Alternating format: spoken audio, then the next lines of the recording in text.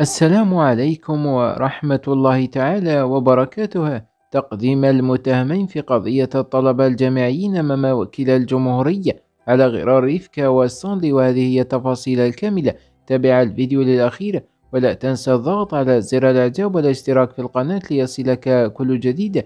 يستمع عميد قضاة التحقيق لدى محكمة الدار البيضاء في هذه الأثناء إلى متهمين اثنين موقوفين ويتعلق الأمر بالمتهم بركان محمد والمعروف على مواقع التواصل الاجتماعي باسم ستونلي والمدعو فاروق بوجملين والمعروف باسم ريفكا المتبعين في قضية النصب على الطلبة الجامعيين.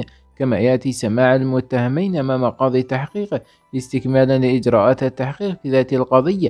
والتي يتابع فيها 14 متهم منهم 11 متواجدون رهن الحبس المؤقت على ذمة التحقيق أبرزهم أربع مؤثرين بارزين على منصات التواصل الاجتماعي من بينهم مؤثرة التيك توك نوم ميديا لازول والتي من المنتظر أن تمثل هي الأخرى أمام عميد قضاة التحقيق يوم غد الأربعاء 2 مارس فيما تبقى المؤثرة المتهمة إيناس عبدلي فاطمة الزهراء تحت الرقابة القضائية نظرا لعدم بلوغها سن 18